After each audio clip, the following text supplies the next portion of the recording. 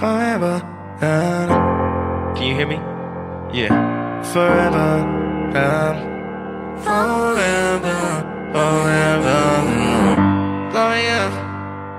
Glory, glory, glory, glory, glory, glory, glory, glory. It feels good to be home. And to all of you, I thank you so much for your support, for your support of me for so many years, and more importantly, for the work you continue to do. What do you want me to talk about? Well, he said something that was a little bit dangerous. He told me I could talk about anything I wanted to.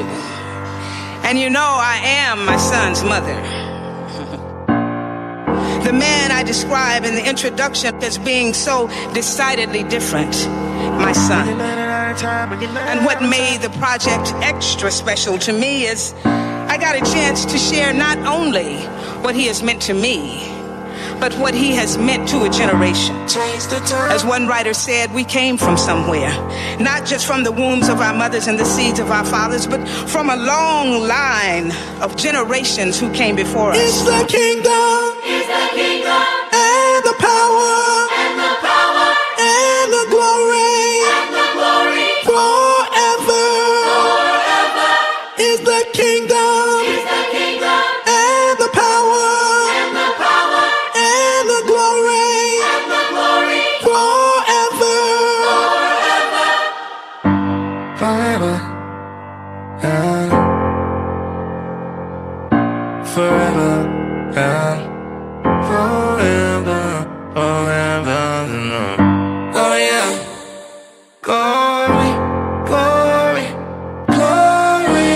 What did I teach him?